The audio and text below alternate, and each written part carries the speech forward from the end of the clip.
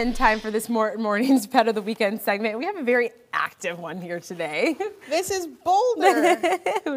he is a three-month-old um, terrier mix. He loves kisses, I yeah. see.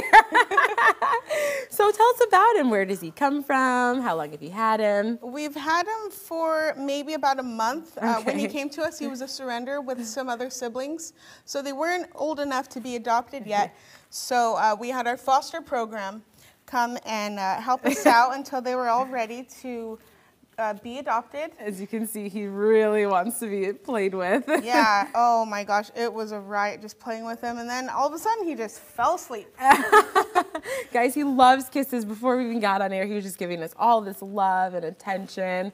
So what else is happening the, over there at the SPCA? There's some dog parties?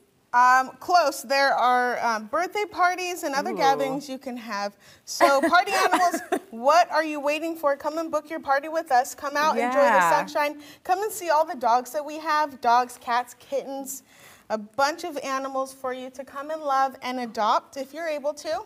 Boulder is just the greatest little thing ever to me. Just look at him. He just, what's that? Treats. Oh, look at him. Yeah, guys, look at this. He just has so much energy for like yes, anyone so that. Much, and he's a puppy, and a lot of times people just they see that he's a small little puppy yeah. and they just they're they're not um, they don't really think about how much energy he's going to sure.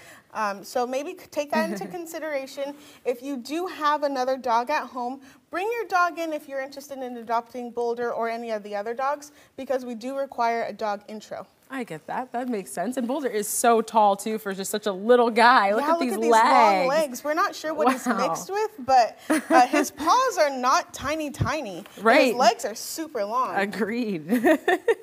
well, Boulder, if you guys are interested in adopting him or any other pets, just visit the SPCA website at spcamc.org. And if you're already a pet owner and you want to show off your dog, cat, or other furry friend, we want to see them. This is Stitch. She loves wearing sunglasses and smiling at the camera. Look at that smile. Look at those glasses. If you'd like to see your pet on TV, take some photos and upload them to our Facebook page or tag us on our Twitter with the hashtag KSBWPets. Each week after the Pet of the Weekend segment, we'll show off some of the best photos you send in here on Action News Weekend Sunrise.